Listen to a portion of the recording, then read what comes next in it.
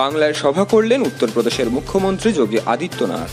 আজ দুপুর সাড়ে বারোটা নাগাদ হাওড়া উত্তর বিধানসভার গুলমোহরে এসে পৌঁছান তিনি। সেখান থেকেই ফুলদ্বারা সজ্জিত বিজেপির বিজয় রথে চেপে রওনা দিলেন হাওড়া শালকিয়ার উদ্দেশ্যে।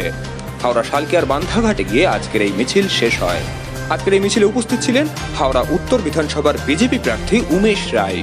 মিছিল ঘিরে কর্মী সমর্থকদের উন্মাদনা, উচ্ছ্বাস আসছিল চোখে পড়ার মতো।